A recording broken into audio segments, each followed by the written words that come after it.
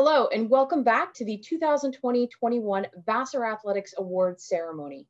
Once again, I'm Amy Canfield, Assistant Director of Athletics for Communications, and it is my extreme honor to present to you the Matthew Vassar Outstanding Career Award from a men's team.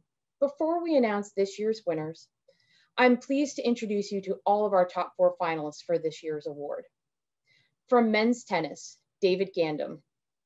From men's track and field, Aiden Gann. From baseball, Pat Fitzgerald. And from men's fencing, Abram Gregory. Thank you guys so much and welcome. It's such a pleasure to have you all here. This award is given annually to one male and one female senior student athlete in recognition of outstanding athletics performance in a Vassar Athletics Department sponsored sport over the course of their career at Vassar. This award recognizes athletics excellence in the context of team history and the current team and the individual's performance in the context of league, conference, regional, and or national competition. Each of our top four finalists has made an incredible impact in their sports, not just this past season during a global pandemic, but throughout their entire careers here at Vassar. I'd like to briefly read a portion of their nomination, which was submitted by their coaches. When David first arrived at Vassar, he was the number two singles player, which didn't last long as he moved into the number one spot later in the season, a position he has held ever since. His discipline has pushed him and the team to the next level. He has worked so hard and it has translated into incredible results in his matches. A 2021 All Liberty League first team in singles and second team in doubles honoree, he went from a losing record as the number one player in his freshman and sophomore year to an incredible winning record as a junior and senior at number one singles and doubles, helping the squad into the Liberty League semifinals this year. The team is stronger having had him as a captain this year, not just with his words, but also through his actions. Even though David had an incredibly busy schedule, he always found time to volunteer, including with the Vassar After School Tutoring Program through the Vassar College Urban Education Initiative, that connects Vassar to the City of Poughkeepsie Public School District. Putting forth incredible sportsmanship on and off the court, David leaves a lasting legacy at Vassar, which always saw him put his team first. Aiden has been an absolute dominant force on the track his entire career as a brewer. While the pandemic robbed him of the opportunity to compete for the win at NCAAs in the 800 meters, his career has had enough statistic to show he is one of the greatest track athletes we have ever had at Vassar a three-time Liberty League champion in the 800 meters and an NCAA qualifier. He became the highest placing brewer at NCAAs in the 800 meters as a sophomore, just missing out on the finals by 0.01 seconds, finishing 11th after entering the meet ranked 20th overall.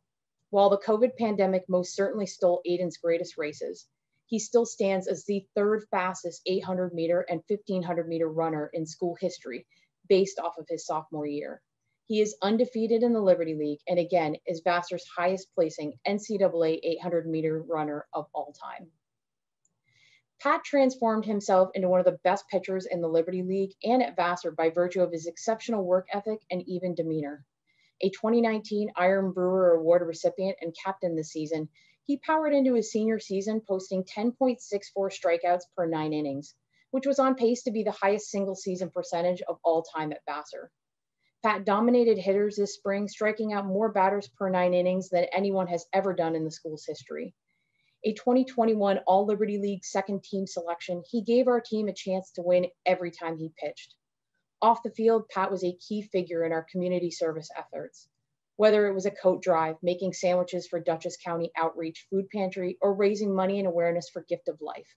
He has upheld our team and department standards as well as anyone ever here on our team which is one of the reasons we feel so hopeful for the next few years and are so proud of all he has done for our baseball family and for the athletics department. Abram stepped onto the Vassar campus as a USA Fencing C ranked epee fencer, but departs as an A ranked fencer. He has worked hard for his team, teammates, and also himself during his career, which includes 100 career epee victories, he has been an outstanding representative of our program, winning the NEIFC individual epee title in 2020 and coming within only a couple of bout victories from qualifying for NCAA championships. In addition to his success with the team, Abram established himself as a familiar face to nearly everyone across the athletics department, serving as a facilities worker for countless contests and desk shifts during his career. Needless to say, Abram has helped to make both Vassar fencing and Vassar athletics a better place, and we will miss him as he moves on with what will certainly be a very bright future. And now you know why they are our top four finalists. Incredible words for all of our honorees and an incredible legacy and career that they leave behind. And at this time, I'd actually like to hear from our honorees with a little bit of a Q&A. We're gonna start with David. You've had an incredible career at Vassar with a lot of ups, some downs, and a bit of pandemic on the side. Tell me about a moment that you feel sums up how to best describe your career as a brewer. Um, probably uh, I kind of just picked my my favorite moment and the moment I hope defines my career the best. Uh, was probably the week uh, I won National Player of the Week um, when we played uh, Skidmore and Clark that weekend. Skidmore is always a really big match for us, um, and we had them at home. Uh, and as you mentioned, I, I did a lot of failing, especially my my freshman year, and um, it was especially against the uh, the kid I played at at one singles. I lost to him a couple times, and and beating him had been a big goal of mine uh, for a, for a while. Um, when I came in, people kind of told me uh, that these kids are really good, and we were kind of we were scared of them a little bit. And I think I think winning that match, um, I tried to show the program that we can compete on on that level, and we're just as good as them. And uh, yeah, that's probably my my favorite moment at Vassar. Absolutely. Hey, when you're able to finally get over that hurdle and beat somebody that has taken you down before, there's never a greater feeling. Thank you so much. Um, next, let's go to Aiden. So while your career might not have featured as much running as you would have hoped for due to the pandemic over the past few years, how do you feel your career has shaped you for your post-Vassar days? Yeah, um, you know, like you said, definitely not as much running as I had hoped. Uh, like you mentioned, my sophomore year nationals, uh, missing out on All American. Uh, my friend had calculated, and it turned out to be like seven centimeters um, that I missed uh, the qualifying by, which was just like it's haunted me till this day for sure. Um, and it definitely wasn't the last time I thought I'd be able to qualify. Um, but then considering like the devastation and pain that this pandemic brought upon, um, like our season getting canceled seemed kind of uh, less important relevant to like other issues. Um, but it was definitely a huge bummer.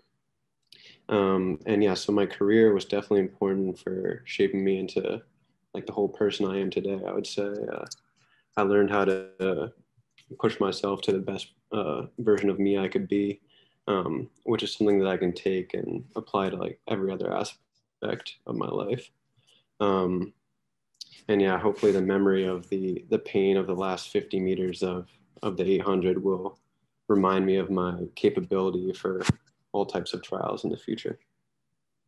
Um, but yeah. I think it's important though, like you said, you know, you look back on your sophomore year with with the 800 as being a great achievement, but you also recognize the things that you were able to achieve despite the pandemic and how that grew you. So it, it's a great realization, even though it's a lot of heartache in between. So thank you so much, Aiden. Uh, next, let's go to Pat. Um, you know, much like your other finalists, you've had to endure the loss of a season and a normal season. Uh, you know, you've lost those in your career as well. What helped drive you to be so successful despite the challenges that were thrown at you over the course of your career? Yeah, you know, similarly to everybody else, it was it was really tough to lose a season, especially right in the middle of it. Um, last year is definitely a shock. Um, and you know, obviously, thinking things in a larger context, there are more important things going on. But for me, you know, I saw it as an opportunity to kind of put two years into one season. Um, you know, two years of development and, and practice, and at the same time, there was a lot of uncertainty there because we didn't know if we would get that last season. And you know, I feel really grateful that we did. And I, you know, the, the feeling of success in, in athletics and in life is, is just so addicting. And, you know, once you have a good moment on the field, you want to do everything you can to continue to, to chase that moment and, you know, be successful over and over again. So I think that was what drove me and, and just having a great support system, you know, whether it's my coaches, my parents, my teammates, my, my trainers, you know, everybody in my corner wanting to see me succeed just made it that much, that much easier to put in the hard work and also that much more enjoyable, you know, when I when I saw myself and my teammates succeed, and, I'm really grateful for that.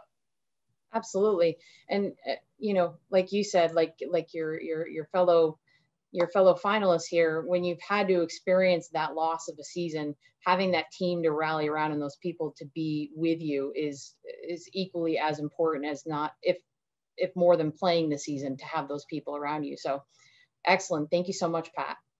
Uh, and finally, last but not least, um, Abram. So your coach mentioned in his nomination that you came into Vassar as a C ranked fencer and you're leaving as an A ranked fencer.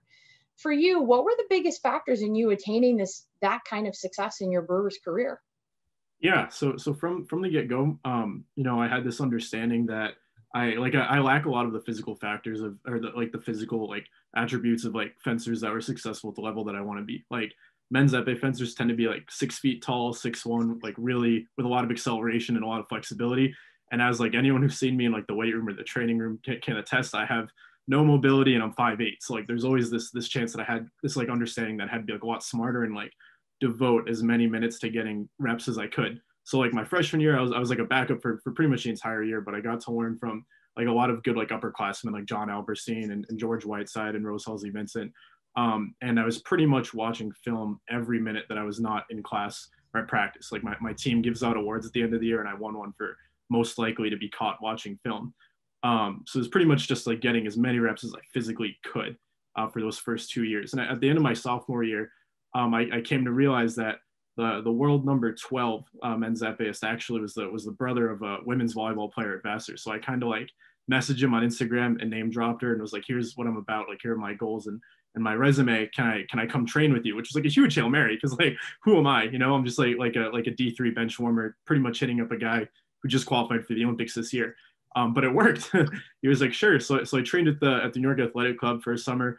Um, and I trained with like the U.S. men's and women's national team, and, and everything just kind of like synergized after summer of that. Like my junior year, I pretty much took so many of like the skills and like tips and tricks that, that you really don't get unless you're talking to some of the best of the best. And I like developed a really strong relationship with Coach Reed and was like hitting the weight room like like three plus times a week, which which you know I know I know I'm in a room with an iron brewer here, but for a fencer that's saying something, you know. Um, and I pretty much just everything synergized, like whether it was you know the, the fundamentals that I got to work with with some of my assistant coaches as an underclassman, um, and then just like a lot of the incredibly high end reps I got um, with like some of the folks on the national team. I was able to just start like blowing past like a lot of our D1 competition because the funky thing about fencing is D3 fences D1 and, and usually we're just warm ups for them, but that really wasn't the case for me. Um, so whether it was like the the stuff I learned from the national team or working with Coach Reed, everything just kind of like synergized to help me like pick up my A from the U.S. Fencing Association, like come sixth out of 76 at our opener my uh, my junior year, and then and then win the conference title individually at home, which is amazing. So yeah. Absolutely. So I mean, the, the the basic theme is that you weren't you weren't willing to settle with with what you came in with, and really, I think that's pretty much a common uh, a common trait for all four of you, to be perfectly honest. Thank you so much for your wonderful responses. But um, as a surprise, we're not quite done yet. Um, so I do have a bonus question for all of you um, that I'd love to, to have you answer. Um, and that question is, what have you learned about yourself over the last four years at Vassar as a student, an athlete, and an individual? Uh, let's go ahead and start with Aiden. Yeah, so, you know, I definitely went into to Vassar not knowing what I want to spend the rest of my life doing. Um, so like on the student side of things, you know, throughout my time, I've, I've definitely found a true passion in studying astrophysics.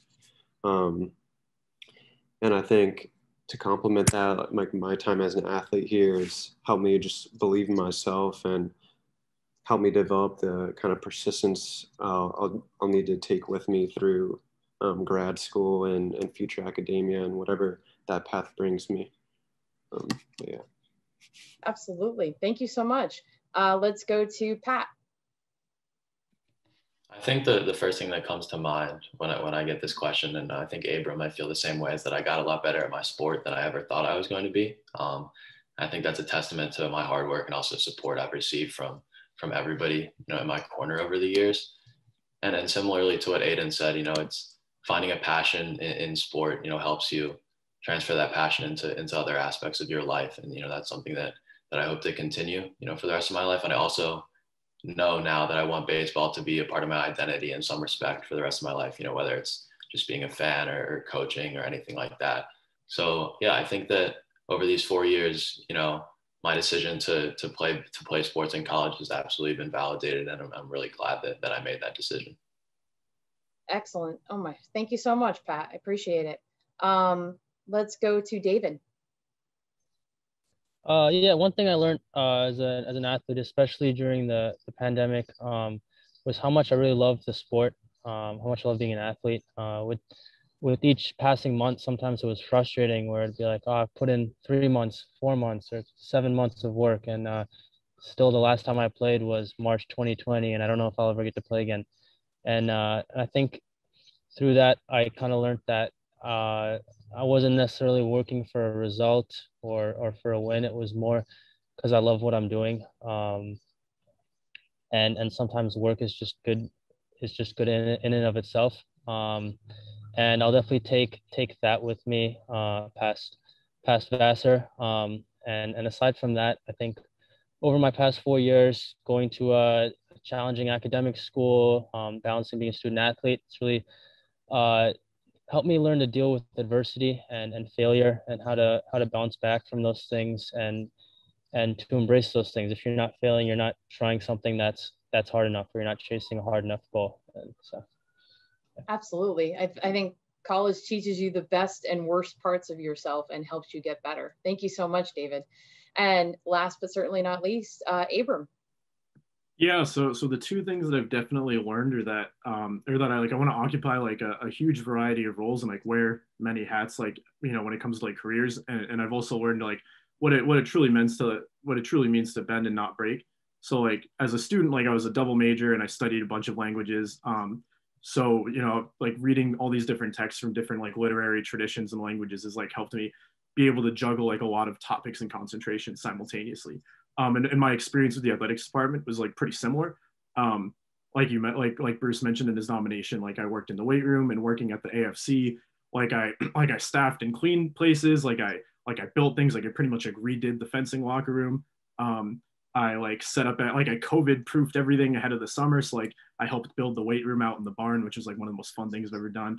Um, so between like you know my employment and participation with with the athletics community and, and like everything in the classroom it's that i want to do like a lot like going to mat to to like i'm pursuing a master's in english and i hope to do a phd after that but i'm also like simultaneously training to be a strength coach and i coach fencing right now. And you know i think one career would be would be too few for me and i definitely learned that at vassar. And then and as for the the bending and not breaking like um, i had to just deal with like a lot of setbacks over my athletics career um, like I had three concussions, which was like a really scary time, um, especially in a sport like fencing because like no one is accustomed to that. And I pretty much did my entire junior season on like a torn shoulder labrum, like in my weapon arm, um, and uh, which was really tough because it was like a shoulder ligament, and the epee is the heaviest weapon, and it happened in the middle of the season. But I was on such like a roll that it was like I just gotta just gotta keep doing this because like I don't know the next time that I'm gonna be beating like D1 athletes and, and training with world team members and and and making a run for NCAA's against you know against like some of the best of the best. Um, so yeah, so those are definitely the two things I've learned, or that I want to pursue like a variety of things, and and I also just know really what it means to just kind of make things work. Absolutely, thank you so much. Guys, congratulations on outstanding careers. The four of you are truly and absolutely worthy of being Matthew Vassar outstanding career athletes. Um, truly, thank you so much for your honest words today, and thank you so much for being here today. It is now time to unveil the winner of the 2020-21 Matthew Vassar Outstanding Career Award from a men's team. And the award goes to David Gandum, men's tennis. I'm very honored by this nomination, uh, an award by by Vassar Athletics. Um, I'd like to thank Athletics. It's been a great four years representing the school. Uh, I'd like to thank all of my teammates and, and coaches over the past four years, especially uh, the ones in my grade, Nick, and my doubles partner, Adam. Um, I'd like to thank all the trainers, um, especially uh, Max, uh, and obviously my, my family, uh, my dad and my sister who have been on this tennis journey with me for the past 20 years. Um, finally, a big thank you to Coach Tina. You believed in me more than I believed in myself, and that's meant so much. It's been a blast to play under you uh, in this program for the past two and a half years. I'm so excited to see uh, what we do in the future. Go Brewers!